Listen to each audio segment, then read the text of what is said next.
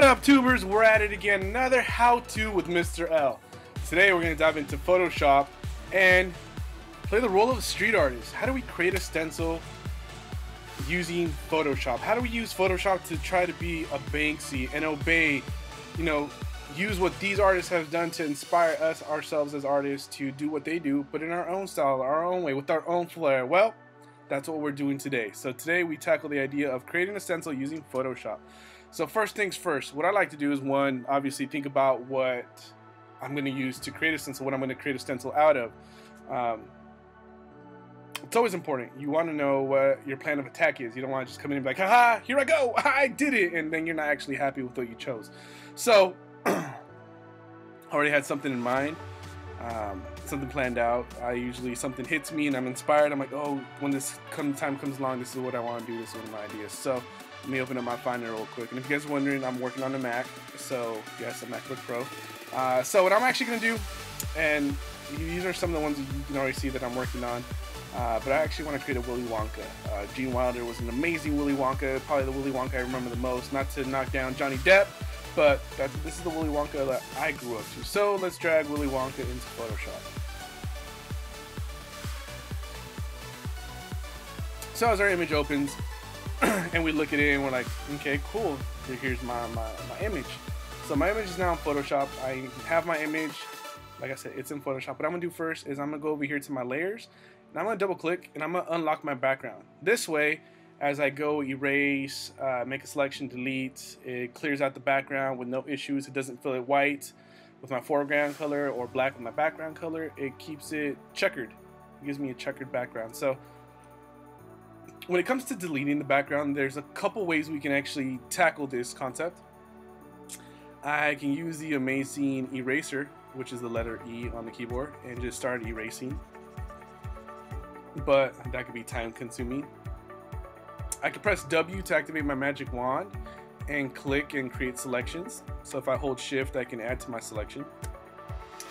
Now that's another way of doing it. So if I hit delete, it, it, it, it wipes out. So I'll press Command D to deselect. Um, I can go get my lasso and use my lasso to create a selection and wipe out the background that I don't want. Cool about Willy Wonka is he has, he has these crazy curls and waves in his hair. So it kind of adds to the character. Uh, go along his coat.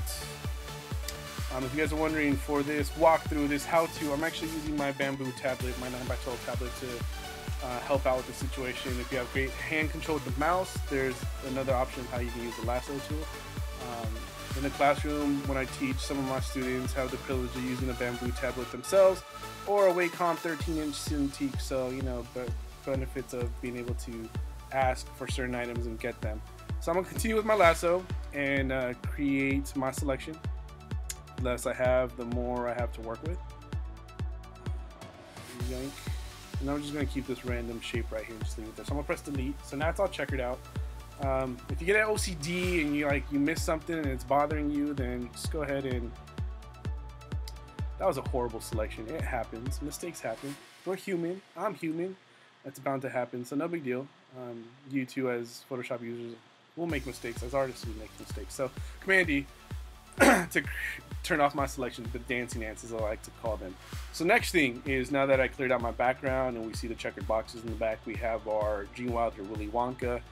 Um, I'm actually going to go into image, adjustments, and I'm going to desaturate or Command Shift U and make it black and white. Now when it comes to stencils, there's two, I like to think two ways to do a stencil.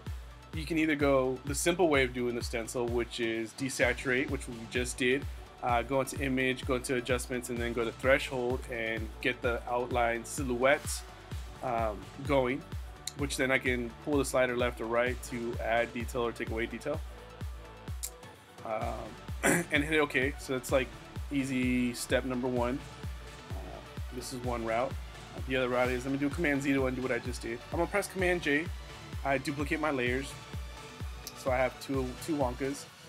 Uh, Wonka number one, I'm gonna go image, adjustments, and threshold, which is the basic section that I just showed you. Uh, I'm gonna adjust my slider a little bit. I do want some of these details, but not completely. And I'll hit OK. I'm gonna turn off that layer.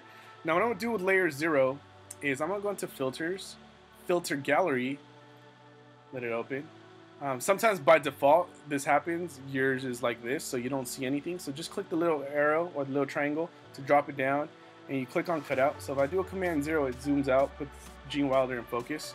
I have currently four levels of what you can say are going to be cutouts that we'd have.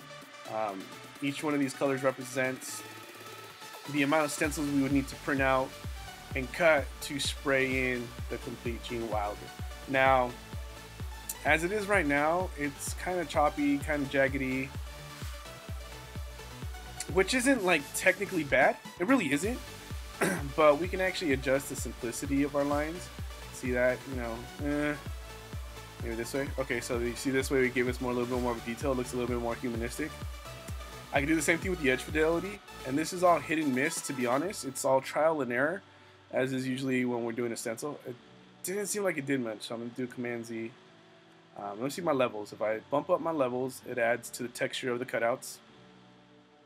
So the darker the cutout, the you know the different level of cutout you'll need, the different layer it'll be. Um, you like the way I like to think about this is if you ever had to get something silk screened, or if you sent something to a print shop. You know, in the design world, you have your four your four print colors. You have your cyan, your yellow, your magenta, and your black and those are the four colors that blend together, that overlay each other to create the millions of colors available out there in the world. Uh, same concept, same similar concept. Each one of these little areas, these cutouts, would be like this, this, this would be my black. This this color right here would be my yellow, and then my other color, my lighter color would be my cyan, and then I have my magenta. So hopefully that makes sense and understanding uh, to you. And it's like, okay, cool, I get it, totally cool. So um, I do this because it gives me that, that level of layers, that level of texture, of final process. So if I hit OK, so I have my Wonka like this, and then I have my Wonka like this. So what I'm gonna do is I'm gonna press W on my to activate my magic wand. The reason I'm doing this is because I honestly want to select everything that's white. But see what happens when you don't pay attention. You gotta make sure you're on the right layer. So right now I actually selected layer zero. So I'm gonna press Command D. I'm gonna click on layer zero, turn it on. Click on what is the white of the Wonka. I'm gonna select select similar. This will select everything that is white in my document. I'm gonna press delete and then Command D. So now we see two Wonkas. We see the levels of Wonka and then we see the final level of Wonka, which for me, I would say this would be the layer that I either use black on to create the final little intricacies, the little details that finalize my piece. So part two is, let me go beast mode and try to pull off uh, Shepard Fairey and do the layers of paint, um, or even a Banksy, because they do levels of or layers of paint to get that final image across. Uh, but if you think about it, I just walk you through how to create a stencil. Uh, you have the basic way, which would be just your one, straight up, everything's gonna be one color. Or if you wanted to even keep it basic and cut out, you know, this is gonna be this color, that's one stencil. The hat's gonna be one color, that's another stencil, and so on. You have it that route too. And that's why I showed you guys both ways because the art cutout shows you your layers. So then I'm, I'll be like one, two, three, four cutouts and then we have the added final piece that ties it all in. So hopefully, hopefully this helps you out. You guys understand how easy it is to use Photoshop to find an image, bring it into Photoshop, and create a stencil.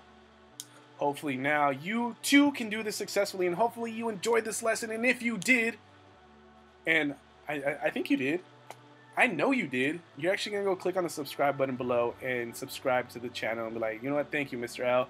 That was a pretty sweet technique. I appreciate that, and I can actually use that myself.